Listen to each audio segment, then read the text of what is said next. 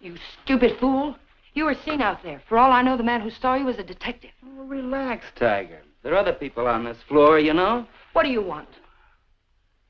Find the ticket? No. Too bad. I don't like to think what'll happen inside you if you don't. I came up to tell you something, Tiger. If you get that dough and dust with it, it'll be very, very bad. I don't intend to. Fine. But let me tell you why it'll be very, very bad. You want to know about that, don't you? Listen, Danny. We can't be fighting each other now. We've got to help each other. Yeah? Why? Kathy, my sister-in-law, she's getting suspicious.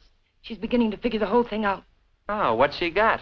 She heard me come in last night. I denied it, but I know she doesn't believe me. She knows Alan wouldn't have gone out to get liquor because there was plenty here. She knows Alan's gun was gone.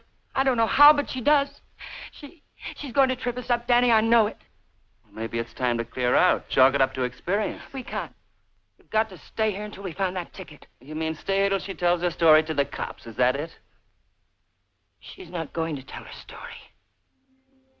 You're going to help me again, Danny.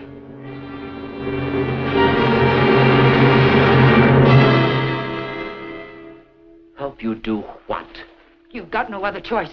We can't just wait and let her kill us. I didn't mean to kill Alan, but it's done. And now it's our lives against hers.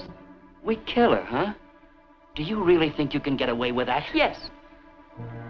Kathy was all wrapped up in Alan. She missed work today. She's what the papers will call despondent. She. She's going to take poison because of it. You're going to get it for me. Sorry, Mrs. Palmer. I'd rather take my chances. You don't think I want to do it? I couldn't kill Alan. I tried to convince myself I could kill him, but when the time came, I couldn't do it. How did he die? Pneumonia? It was an accident. He opened my purse and the gun fell out. I don't know what happened after that. I killed it. But I didn't know it then. I'm not going to die for it. We've got to do it, Danny. We've got no other choice.